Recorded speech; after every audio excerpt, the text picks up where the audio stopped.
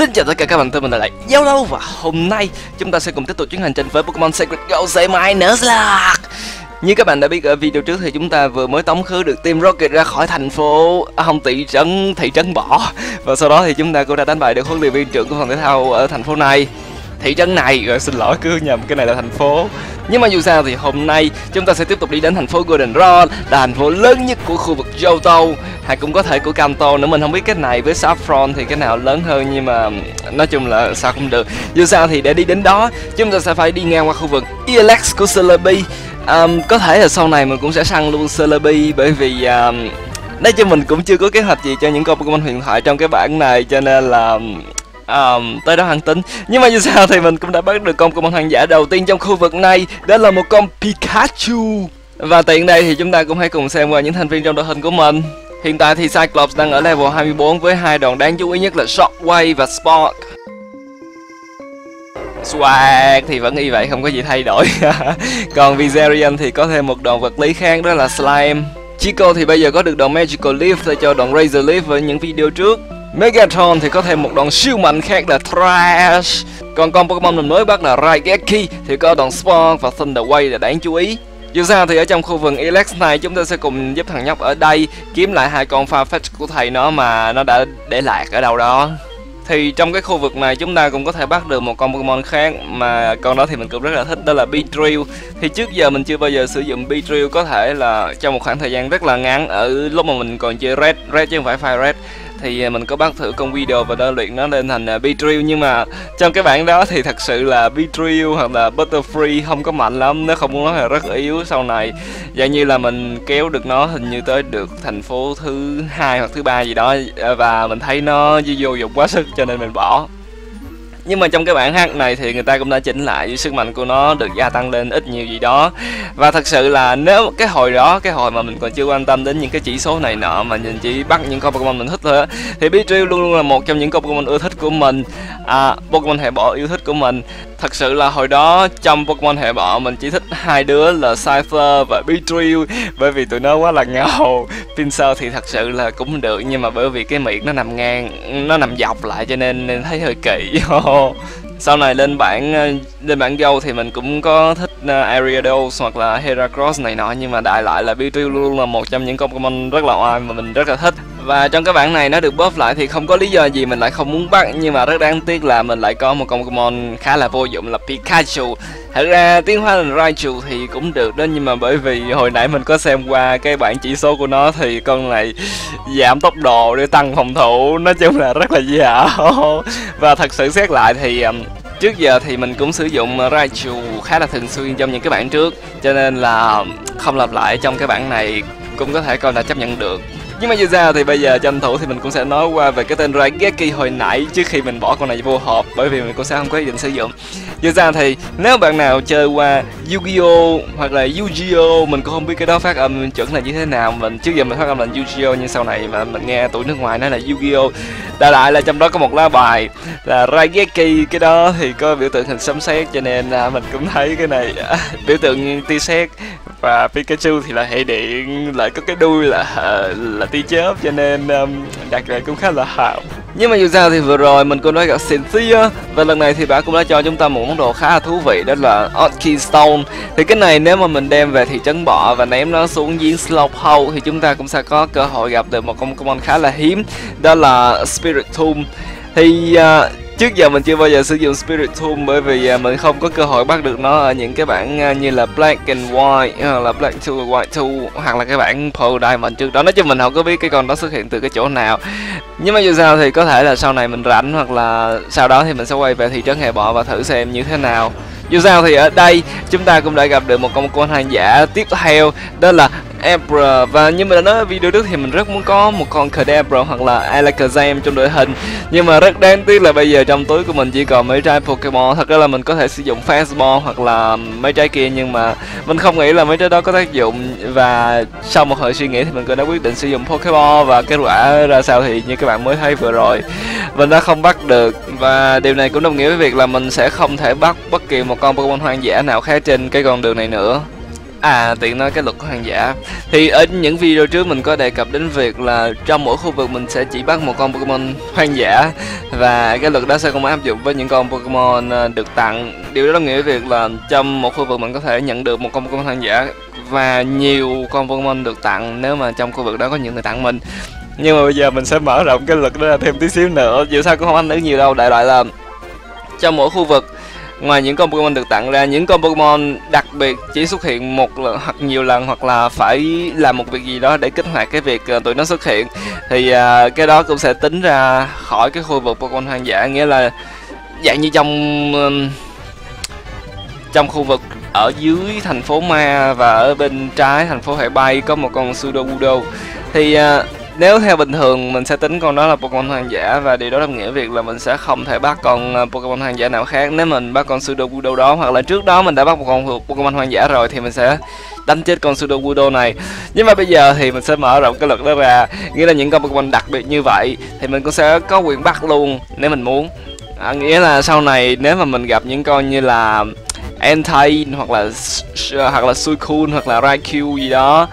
Um, hoặc là những con Pokemon như kiểu như Mewtwo, Zapdos hoặc là Moltres những con Pokemon mà chỉ đứng một chỗ hoặc là đứng nhiều chỗ mà chúng ta sẽ phải lại nói chuyện để ờ, bắt nó. Thì ờ, cái đó cũng sẽ tính là một con Pokemon đặc biệt và sẽ không tính vào luật dông dài dạ như vậy mong là các bạn hiểu. Và nếu bạn nào hiểu sớm rồi mà thấy thằng này sao cứ nói nhiều như ta thì cho mình uh, xin lỗi. Nhưng mà như ra thì vừa rồi chúng ta cũng đã nhận được một con Pokemon cơ bản của hệ thứ tư của thế hệ thứ tư đó là Turtwig và con này thì mình cũng đã đặt tên là Gamera. Và nói nhanh về tên này đã lại đây là một uh, nhân vật uh, giả tưởng nó là một con rùa khổng lồ của Nhật Bản của điện ảnh và game Nhật Bản nói chung là ba thứ linh tinh đó. Nếu bạn nào muốn tìm hiểu thì có thể Google nhưng mà dù sao thì bây giờ mình cũng đã bỏ nó vào hộp cho nên uh, thật sự là cũng không có quan trọng lắm. Dù sao thì trong cái tiệm xe đạp ở thị trấn này không thành phố này chúng ta cũng đã có được 6 cục hóa thạch từ ông ờ, khảo cổ học ở đây. Và sau đó thì mình cũng đã hồi phục hồi một cái cục hóa thạch trở thành một con Pokemon đó là Kabuto. Và mình cũng đặt tên đó là Atlantis nói sao về cái tên này. Đó là Atlantis là một thành phố bị chìm dưới biển. Và mình thấy con này có hệ đá và hệ nước thì giống như là một um, mình mường tượng đó là một cục đá ở dưới nước. Và sau đó mình liên tưởng vào chữ Atlantis mong là có liên quan. Nhưng mà dù sao thì mình thấy tên Atlantis khá là hay. Và mình nghĩ là mình sẽ tiếp tục sử dụng Atlantis cho những video tiếp theo. Và nếu mà may mắn thì nó cũng sẽ theo mình đến cuối game. Bởi vì à, trước giờ mình chưa bao giờ sử dụng. Không không phải chưa bao giờ mà là hiếm khi sử dụng những con Pokemon à, được phục hồi từ hóa thạch cũng như là hổ phách. Và mình nghĩ đây cũng là một cơ hội thích hợp để thay đổi cái điều đó thật ra trong cái bảng red um, thì uh, chúng ta có được uh, một trong hai cục hóa thạch và sau này là một cục hổ, hổ phách. Nhưng mà trong những cái bản đó thì ngoài ờ, việc phục hồi con Aerodactyl để sử dụng ra thì hai con um, uh, Kabutops lẫn Omastar không có gì nổi bật so với những con uh, mà hồi đó đang hot. À, giống như là Blastoise hoặc là Charizard hoặc là à, uh, Gengar, à, Alakazam gì đó. Nói chung là hồi đó hai con đó không có nổi lắm lên cái bảng uh, Go thì hình như là mình có được mấy cục đó khá là sau game về đến gần cuối game mới có được. Còn uh, Ruby Sapphire Emerald thì uh, hai con đó thì mình, hai cái cục hóa thạch mình có được khá sớm. Nhưng mà bởi vì uh, hai con đó không có gì nổi bật so với phần còn lại của cái Pokédex cho nên mình cũng không có ham bản Pro Diamond thì thật sự là mình không có nhớ. Black and White thì mình có thích tiêu con chim tiền sử nhưng mà bởi vì như các bạn thấy trong cái Black and White 2 Blaze Black 2 thì mình ờ, phải đến khi mà mình đánh bại được tứ đại hiên vương chúng ta mới có được con uh, chim sử cho nên mình cũng không có mặn mà gì. À, nhưng mà bởi vì ở đây chúng ta có được khá sớm và khi mà phục hồi nó có tới level 25 lận cho nên ờ, không có lý gì mà không sử dụng dù sao thì trong cái lúc mà mình huyên thuyên thì nhân vật của mình Vi cũng đã vào được cái tháp radio và chúng ta cũng đã có được à, cái một radio trong cái Pokegear có thể là sau này mình à, sẽ thử cái trò mà bắt sóng radio để bắt Pokemon đại lại là cái này là cũng mới, mình cũng mới biết gần đây thôi, bởi vì trong à, mỗi cái bản hát nó sẽ có một cái một cái phần gọi là văn bản giới thiệu những cái điểm mới của bản hát đó tài liệu giới thiệu những cái điểm mới của bản hát đó. Và trong đó có đề cập đến việc là sử dụng cái ờ, radio để bắt Pokemon cho nên ờ, mình nghĩ là trong tương lai mình cũng sẽ xài thử. Sau đó thì mình cũng đã vào cái đường hầm của thành phố này. Và tại đây thì chúng ta cũng đã gặp được Ethan là thằng hàng xóm thứ hai. Thật ra nếu mà xét đúng thì nó là thằng hàng xóm đầu tiên và thằng hàng xóm duy nhất của mình.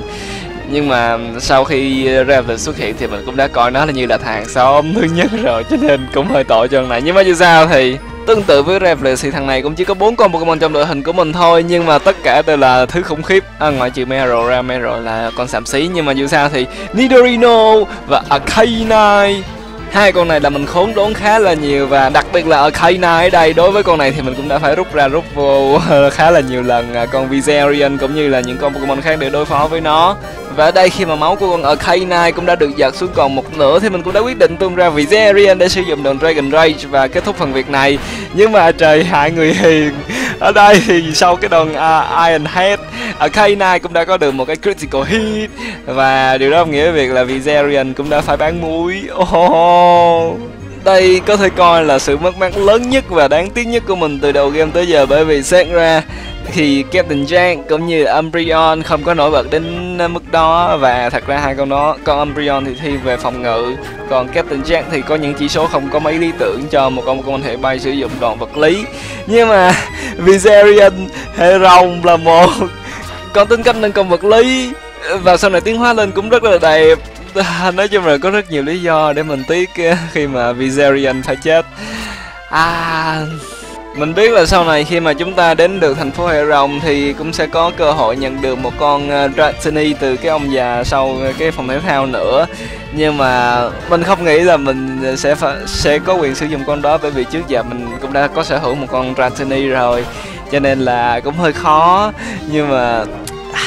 thật sự là nếu mà tới đó mình bí quá thì mình cũng sẽ lấy con đó và đem ra sử dụng. Nhưng mà à, tới đang tính thật ra nói bi quan vậy thôi chứ không chừng từ giờ đến đó thì chúng ta cũng đã tìm được một con nào đó thay thế thậm chí còn cả thần xịn hơn cả Viserion. Nhưng mà tạm thời thì mọi sự kỳ vọng đều được dồn vào Megatron bởi vì à, thật ra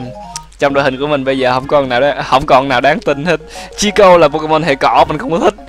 Swan thì cũng được nhưng mà phải tội cái tính cách của nó hơi kỳ uh, Cyclops thì thật sự là trong cái game này mình có thể tiến hóa nó hình thành Magnezone chứ không phải đổi nó qua từ mấy cái bản Pearl hoặc là Platinum nữa. Nhưng mà cái vật mà để nó tiến hóa lên uh, Magnezone thì hơi khó cho nên uh, mình cũng không có hy vọng nhiều. À, Lante thì dù hồi nãy mình nói là con này có tiềm năng và rất hứa hẹn này nọ nhưng mà thật ra là bây giờ vẫn chưa thể hiện được nhiều cho nên cũng không nói trước được gì. Dù sao thì mình cũng sẽ tiếp tục sử dụng những con này và hy vọng là trong cái khu vực tiếp theo nhất là cái uh, công viên bắt côn trùng. Nếu mà tới đó vẫn chưa tới ngày thì mình sẽ cũng sẽ chỉnh ngày để vào đó tham gia cuộc thi bắt côn trùng. Bởi vì trong đó có những con Pokemon mà mình rất thích và như mà đã đề cập ở đầu video trong đó chắc chắn sẽ có Beedrill và nếu mà may mắn thì chúng ta cũng sẽ bắt được Cypher.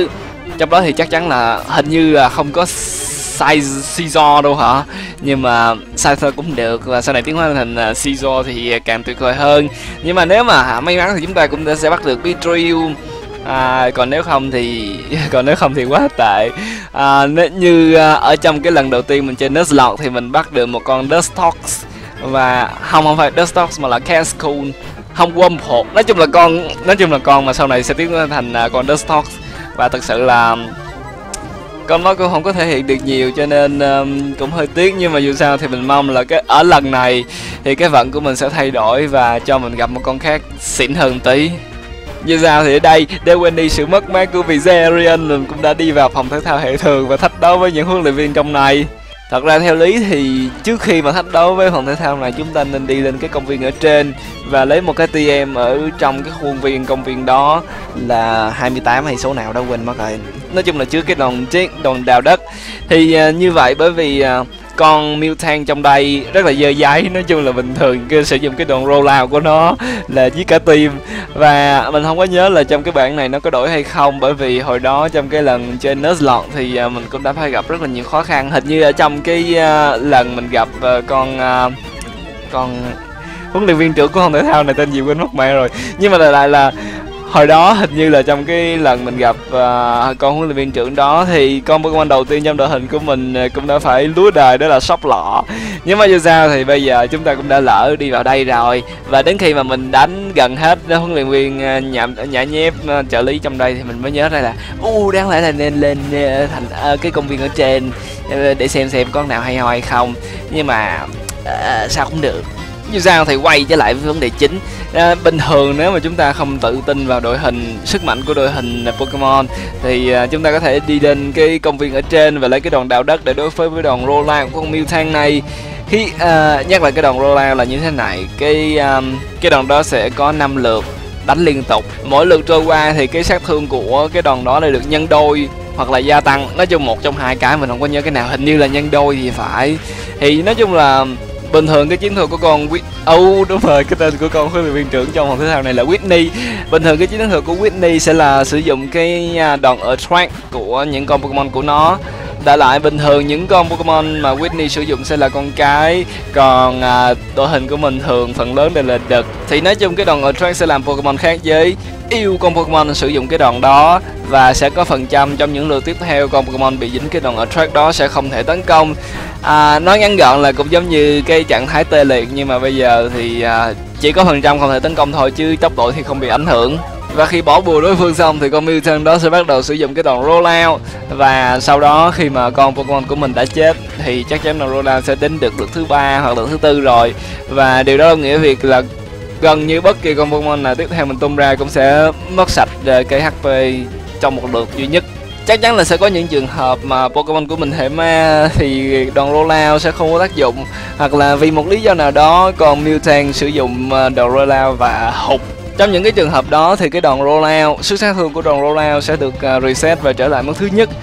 Và đó cũng chính là mục tiêu mà người ta muốn hướng đến khi sử dụng đòn đào đất. Đó là làm cho cái đòn rollout hụt hoặc ít nhất là để Mewtwo không tấn công nữa bằng cái đòn ru ngủ hoặc là tê liệt nào đó. Hiện tại thì đối với những con Pokemon đầu tiên của Whitney cũng như là những Pokemon mà huấn luyện viên trợ lý trong đây sử dụng, mình có thể dùng à, uh, Swag cũng như là đòn Double Kick của nó để đối phó. Nhưng tới lượt của Mewtwo thì chắc chắn là mình sẽ mong chờ vào sự kỳ diệu của Great Whistle cũng giống như là Super Sonic của Chico và Cyclops. Dù sao thì kế hoạch của mình cũng giống như những phòng thể thao trước Đó là phụ thuộc vào một con Pokemon chính. Ở đây chính là Sway cùng với đòn à, Double Kick của nó. Và những con Pokemon còn lại giống như là Megatron, Chico, Cyclops và Atlantis. Atlantis thì trong à, video này chắc chắn sẽ không giúp ích gì được rồi. Nó chỉ đi theo để nhận kinh nghiệm từ EXP Share thôi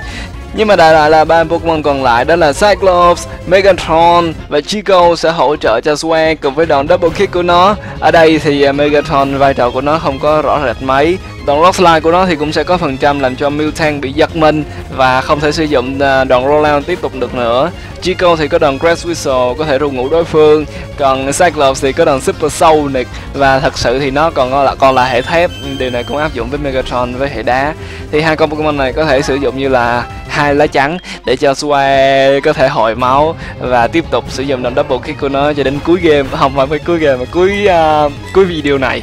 và như các bạn thấy đây thì ngay từ đầu mình đã đặt niềm tin vào Chico cũng như là Grass Whistle của nó để đưa Mewtang đi ngủ. Nhưng mà 49 gặp 50 Whitney còn cao tay hơn khi mà đã cho Mewtang của nó cầm uh, Lumberry và giải được cái dị trạng mới rồi. Sau đó thì con Mewtang này cũng đã sử dụng đòn track nhưng mà mình đã không liều và tiếp tục tấn công lần Grass Whistle thay vào đó mình đã tung ra con Sua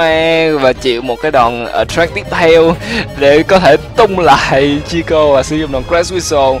và đến lúc xem chết thì Chico cũng đã hoàn thành nhiệm vụ khi mà đã cho con Mewtang này đi ngủ. Và thật ra trận đánh này đã có thể kết thúc sớm nếu mà con Swag của mình mạnh hơn được tí xíu. Mạnh ở đây là có thể có được một cái tính cách nâng sức tấn công vật lý, hoặc ít nhất là level cao hơn một chút xíu nữa. Hoặc có thể cầm một món đồ nào đó để gia tăng sức mạnh của những đòn võ sĩ bởi vì sau nhiều lượt cố gắng thì mình cũng đã có thể kéo được thanh HP của Milton xuống cầu máu đỏ. Nhưng mà mình biết trước là Whitney sẽ sử dụng Super Potion ở đây. Thật ra mình không có biết điều đó, mình chỉ biết là đến khi mà máu đỏ thì sẽ có một cái điều gì đó xảy ra và Milton sẽ được hồi máu. Nếu mà Whitney không sử dụng Super Potion thì chắc chắn là Milton cũng sẽ dùng cái đòn Mildring hoặc là đoạn Drink Mill của nó mình quên nhớ cái tên này là gì à, để hồi máu cho chính mình. Nói chung thì đây là cái phòng thể thao mà mình có thể nói là một trong những cái phòng thể thao phiền nhất trong cái chuyến hành trình Pokemon của mình từ hồi Red tới giờ, từ hồi Red cho đến Black and White 2 nữa, bởi vì những cái phòng thể thao khác thì hiếm hiếm có phòng thể thao, hình như không có phòng thể thao nào có những con Pokemon có thể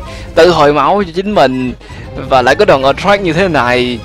à nói chung là nhiều cái thứ phiền hà được gom lại, tống một con Mewtwo ở đây nhưng mà dù sao thì kế hoạch sử dụng Cyclops làm lá chắn đang phát huy tác dụng khi mà mình đã có đủ thời gian để hồi máu cho hai con Pokemon khác là Chico và Squire. Tất cả những thứ đó để để chuẩn bị cho một đợt press Whistle cộng với Double Kick thứ hai.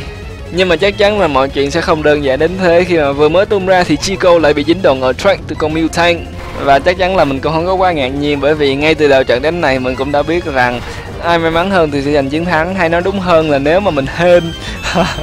Và cái đồng crash whistle của mình có thể có tác dụng cũng giống như là cái dị trạng ngủ có thể kéo dài nhiều lượt thì mình có thể giành chiến thắng từ cái đoạn double kick. Nhưng mà nếu mà mình xui và crash whistle cứ hụt hoài hoặc là à, cái đòn attack của nó cứ phát huy tác dụng hoài hoặc là vì một lý do nào đó nó có được critical hit và hạ gục tất cả những con của mình thì phải chịu thôi và rất là đau tim khi mà ở lần thứ hai mình giật được thanh HP của milton xuống cùng máu đỏ thì nó là thức dậy và sử dụng đòn attract đối với con Swag của mình. Và ở ngay lượt sau thì con đó cũng không thể tấn công bởi vì uh, tác dụng của cái đòn attract đó. Và mình không hiểu tại sao ở đây thì con milton này lại không sử dụng cái đòn Mewtwo hoặc là Dream Mew hoặc tại sao là Whitney không sử dụng thêm Super Potion một lần nữa bởi vì mình có ấn tượng là con này có vô hạn Super Potion. Nhưng mà dù sao thì mình cảm ơn vì điều đó bởi vì cuối cùng thì chúng ta cũng đã hạ gục được Whitney huấn luyện viên trưởng của hoàng thể thao hệ thường và thật sự rất may mắn khi mà lần này thì chúng ta không mất đi một thành viên nào khác trong đội hình nữa. Dù rằng ở trước đó thì chúng ta cũng đã để mất Viserion một cách khá là nhảm nhí. Dù sao thì sau khi đánh bại được Winnie mình cũng đã lấy được cái squad bottle từ cửa hàng hoa kế bên để đánh thức cái Sudo Wudo ở trong video tiếp theo. Và đây cũng sẽ là kết thúc cho video này của mình. Rất cảm ơn các bạn đã xem. Like và subscribe nếu các bạn thấy video này thú vị. Nếu các bạn có ý kiến gì, cứ để phần comment dưới mình sẽ phát ngoài ra thì chúng ta sẽ cùng tiếp tục ở những video tiếp theo mình lại giao long xin chào.